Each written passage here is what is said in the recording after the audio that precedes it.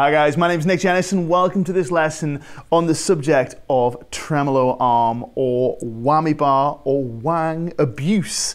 Today we are discussing how to get all sorts of weird and outlandish sounds from your tremolo arm or your whammy bar, whatever you decide to call it. We are of course using this beautiful Dean NashVegas because it has a fantastic legit Floyd Rose which is going to stay in tune and give us the capacity to wrangle all sorts of strange alien noises out of our guitar. I will preface this by saying if you are the kind of character that is into tasteful, restrained guitar playing, first of all, good for you. Secondly, this is absolutely not the lesson for you because what is old is new, and today we're going to be exploring some 80s racket with five tips for better dive bombs. Let's get started. Okay, so tip number one is don't pick it. And this is really a broad tip on how you actually sound the note that you're going to be diving with your whammy bar. Now, it's tempting to sound the string that you're going to be playing. Let's say we're going to do our G string with your plectrum and then dive the bar as low it'll go like this. But that is kind of amateur hour when it comes to dive bombs because you never know when you're going to need one and your pick may be busy doing other things. You also need your right hand to be able to manipulate the bar and it might not be within fingers grasp when you decide you need that screaming, howling dive bomb. So the way I prefer to get these dive bombs to happen is with a very aggressive left hand pull off. And this is something that the legendary, legendary rock guitarist Edward Van Halen would do all of the time. And let's be honest, Ed is the patron saint of the whammy bar. So if he says it's cool, then that's fine by me. With the G string, there are a couple of ways you can do it. A really fun way is to slide up to any old note and then aggressively pull off. You're going to get this really cool meowing kind of sound. And then if you dive the bar, that will just exaggerate the sound of the uh, excessively aggressive pull off. Easy for me to say. Going to sound something like this.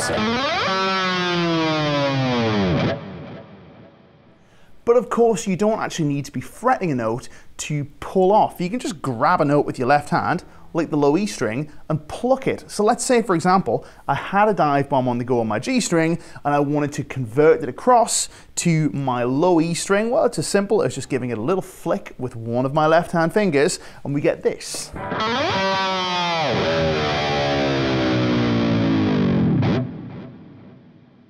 And there's something super aggressive about that pull off kind of sound. It just creates like a really interesting meowing kind of tone. It's also a great way to get into harmonics for dive bombs, which is that Dimebag kind of thing that we all know and love.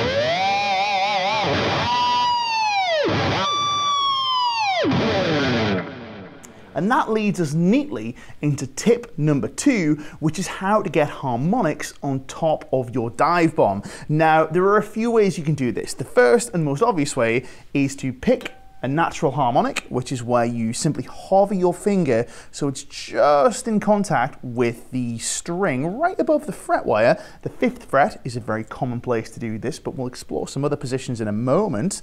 Um, and you're going to pick the string, but we've already discussed that picking is kind of amateur hour. So a few ways you can do this. The dime way to do it is to slap the string with a forceful attack of your left hand. However, I have a little technique that I like to do where I've done my dive bomb, we've pulled off to an open string, we've dived the bar very, very aggressively. As the bar comes back up, it's actually really quite easy just to gently touch the string right where you want to sound that harmonic, and you should get this screaming, kind of howling sound. If I just do a touch harmonic on a, an open string without the bar, it should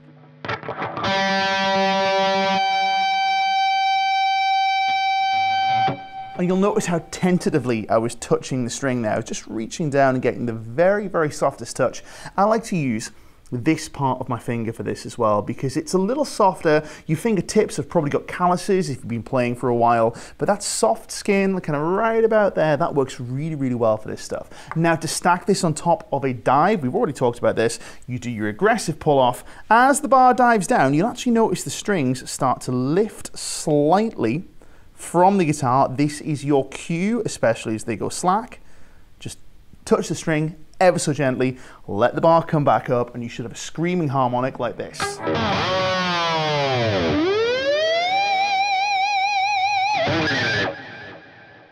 Which leads us into tip number three, which is know your harmonics. Now, it's one thing just to take harmonics and play them on any old pitch, but if you can get them so they're a note that is kind of congruent with the song you're playing to, and it's going to fit either melodically, well, let's be honest, there's not a damn thing melodic about what we're doing today, but it's going to fit in terms of fitting in with the overlying harmony, then even better. So let's talk about how you can figure out which harmonics are going to sound depending upon where you play uh, your touch harmonic or whatever harmonic you want on a given string. So if we take the G string, for example, the most obvious place to play a harmonic is the 12th fret. And we know about this one already. This is the first place everybody plays natural harmonics when they discover that this makes a sound. Now the 12th fret harmonic will give you the same note as the string you're on, but it's going to be one octave higher. Now on the 7th fret, you're going to get the, uh, the fifth degree of whatever note you're on. Now this happens to be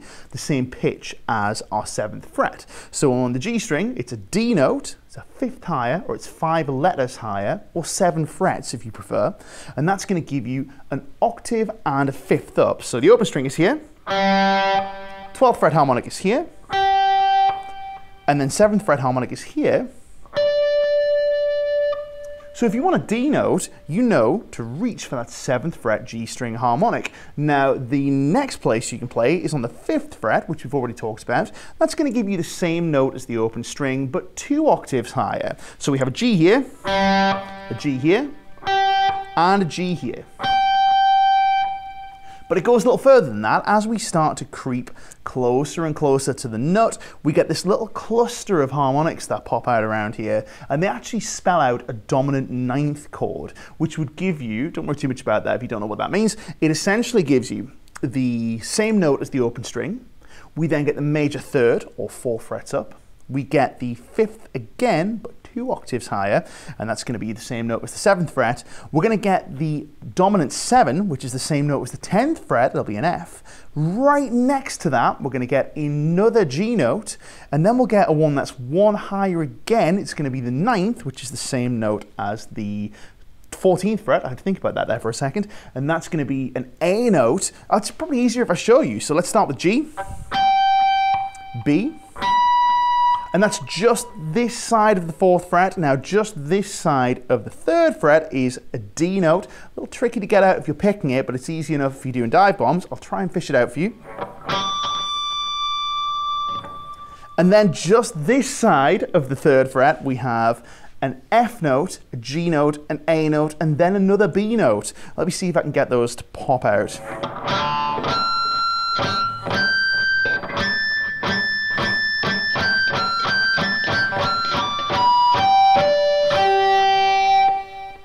Now with a little bit of practice, you can actually call out these pitched harmonics on command. So if you're playing a song that really calls for say a D note and you want a really, really high D, let's say for example we're playing against the D chord.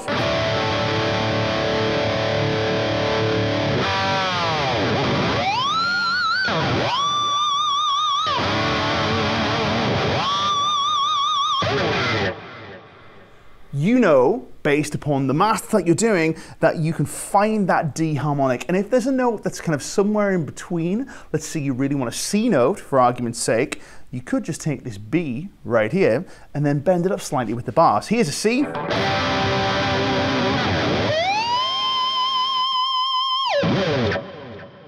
So this gives you the ability to get those Steve Vai style um, kind of like pitched harmonics that are just like kind of a big high screaming theremin type sound. It's very, very exciting. Speaking of Steve Vai, this takes us on to tip number four, which is kind of a Vai and a dime sort of thing, which is to consider turning your bar this way around. Now, if you have a tension collar bar, this makes life very, very easy because you can fix your bar in this position just by tightening up that collar, and there it is. The reason I like to put the bar here is, well, for a few reasons. First of all, it's out of the way when you're picking, but it also gives you the capacity to really dive the strings like crazy because if you dive here, at some point, you're going to make contact with the guitar's body. Whereas here, you can go and go and go and go until the trem's sustain block kind of mashes up against the back of the cavity, which means you can dive like absolute crazy. And then once you have that, you can press the bar this way by kind of just opening up your posture and actually using your shoulders a little bit um, to create some really crazy screaming harmonics. Let me demonstrate.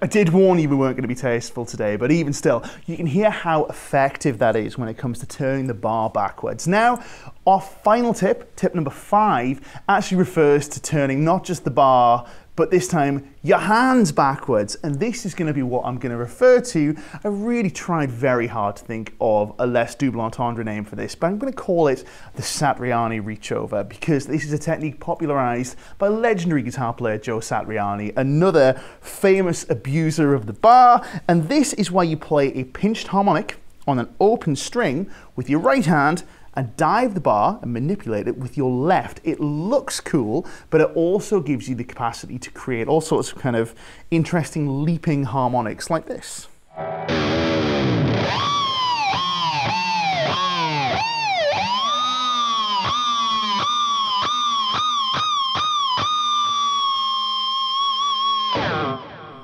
Now you'd have a really hard time doing that with your hands the conventional way around. And of course, if you're the kind of character that's into these kind of crazy, ridiculous dive bomb type noises, then of course you're also probably going to be the kind of character that wants things that look cool when you execute them. And this does look pretty cool because this is not a position many guitar players find themselves in on the regular. So there you go guys, this has been five tips on how to improve your dive bombs.